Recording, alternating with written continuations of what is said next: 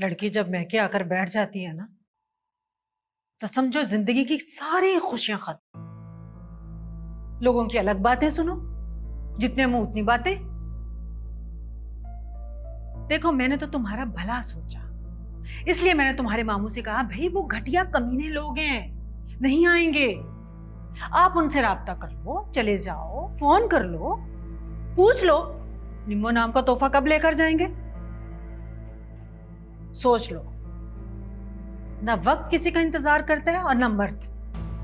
दोनों एक जैसे होते हैं, तेज रफ्तार। अभी भी वक्त है। काशिफ तुम्हें कबूल कर लेगा। अगर वक्त गुजर गया तो तुम्हें क्या लगता है? काशिफ तुम्हारा इंतज़ार करेगा?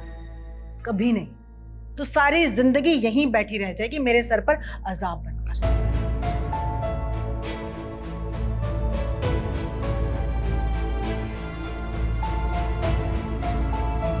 देख निम्मो मैं जो भी कह रही हूँ तेरे भले का कह रही हूँ। फिर लेक्चर दे रही हो निम्मो को? हाँ हाँ मैं ही बुरी हूँ भाई। मुझे ही कीड़े पड़े हुए हैं। तुम मामू भांजे के तो सौ गुना माफ़। फिर कुछ भी मासूम मुँह से एक जुमला निकालो तो गुना। नहीं ममानी जान। मामू मज़ाक कर रहे थे। मैं जानती हूँ कि आप जो भी कहती हैं वो मेरे भले के लिए कहती हैं। हाँ समझाओ इनको और जाओ इनको खाना ला कर दो।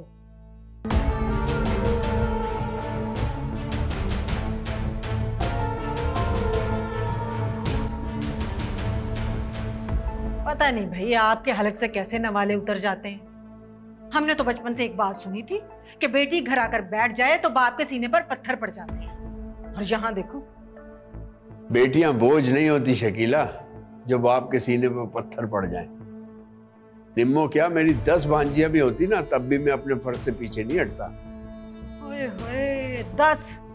हमारे लिए एक निम्मो ही काफ़ी है। दस पे भारी है ये। थाने कचहरियाँ तो चढ़ा दिया इसने हमें। और क्या करेगी ये? बस शकीला अगर तुम्हारे सर में दर्द है तो आराम करो। मेरे सर में दर्द मत करो। खाना लग जाए तो बुला लेना मुझे। मेरे सर में सिर्फ़ दर्द नहीं है। कीड़े डाल दिए आपकी इस मनहूस ने।